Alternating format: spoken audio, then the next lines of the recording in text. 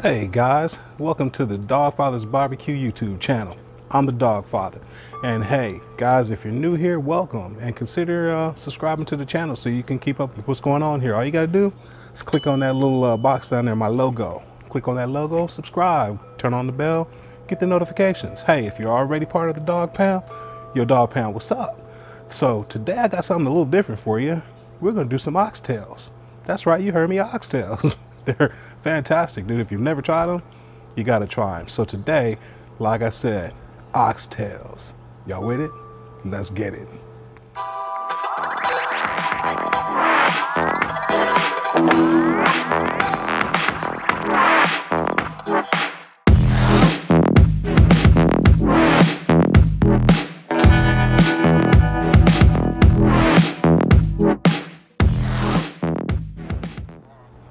So oxtail.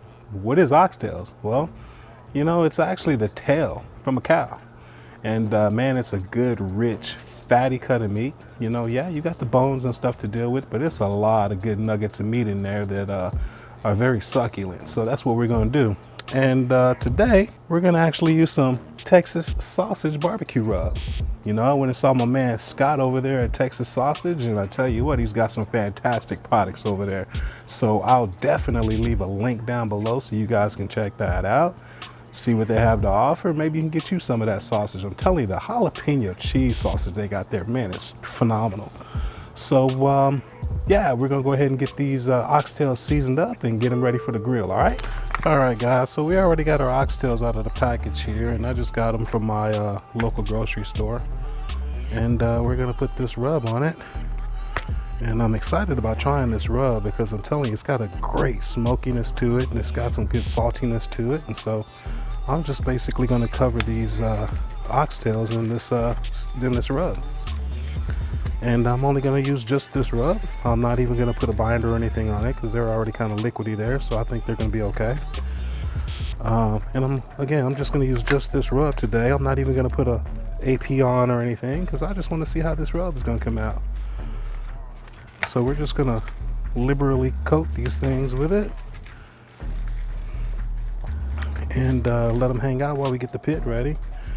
Um, today, I'm going to be cooking these on the uh, Weber kettle with my slow and sear. And if you guys don't know how to set that up for the slow and sear, um, you know, hey, you must be new here. Go check out my other videos where I, uh, I actually set that thing up quite often if you don't know how to use it. For the rest of you guys that know how to use it, that's what we're going to do. We're going to set up the slow and sear today. We're gonna use that B&B charcoal because I love that B&B charcoal, man. It burns really well. burns hot and it burns long. So we're gonna use some uh, B&B. And uh, I think we're gonna put some, uh, I think we're gonna put some hickory wood in, in here today. So we got these guys all seasoned up. They're ready to go. And uh, I'll bring you guys back when we're ready to put it on the grill, all right? Alrighty guys, so we got our uh, pit lit up, we got the oxtail seasoned, so uh, let's get them put on, all right? So they've been hanging out here a little while and uh, I think the seasoning's on it really well, so we're gonna just dump them on here.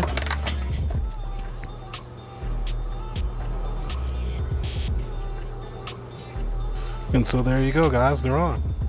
So we're just gonna let them hang out and uh, we're gonna get the lid put back on and we're ready to go. All right, so basically, guys, we got them on the grill. We're gonna let them smoke away here, and um, I'll probably let them go until they get to the color that I want them uh, to get. And and at that point, we'll put them in a uh, in a foil pan, and we'll add a little uh, beef broth, and we'll let them braise away. All right, so I'll bring you guys back then. All right.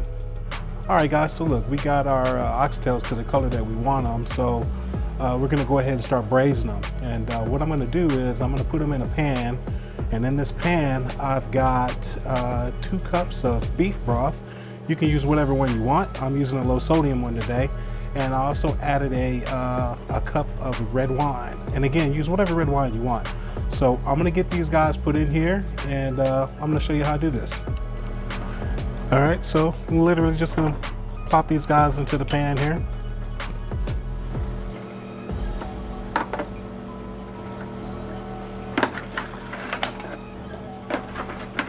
And that about does it. So all I'm gonna do is cover it in aluminum foil and let it go. I'll bring you back in a while.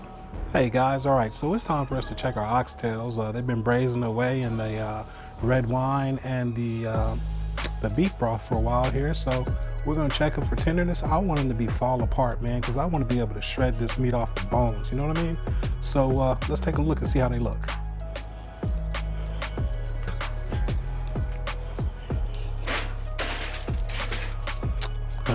They shrunk down quite a bit. Uh, it smells really good. And I like the way that's looking, but uh, I think I want to let these things go a little longer, guys. So I'm going to wrap them back up and I'm going to let them keep going for a little bit and uh, we'll check them in a little while, all right?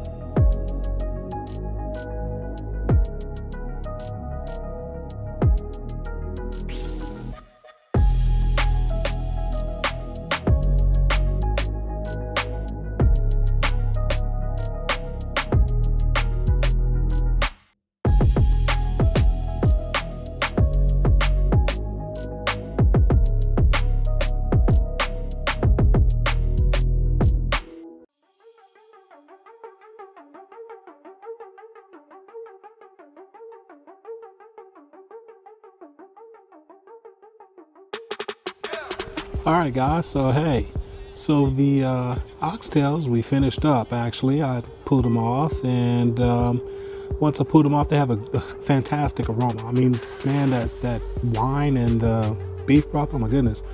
So anyway, um, I got them to where basically it's like ready to fall off the bone, guys. And uh, so what I did was I just put on some gloves and I grabbed them and just pulled the meat right off the bones, you know, and uh, you could do it that way or if you just want to eat off the bone and, and do it kind of caveman style go for it you know? Ain't nobody gonna judge you. But um yeah i went ahead and pulled all the meat off the bones guys and i went ahead and uh, we do a little bit of a keto thing here. So we made some uh, keto drop biscuits and i basically split a biscuit in half and uh, put some of this on top of it and we made a sandwich with it. This is what i got here for you. So there you go. Braised oxtails. Smoked braised oxtails guys little barbecue sauce on the side. And uh, you don't even have to make a sandwich out of it, guys. If you want to, you could put it on some rice or put it on some uh, broccoli or whatever you want to eat it with. You know, again, nobody's to judge you, man. It's, it's good eating. So if you haven't tried smoked oxtails, I tell you, go out there and try it, guys. I think you'll like it. All right? Till next time, Dawgfatha out. Peace.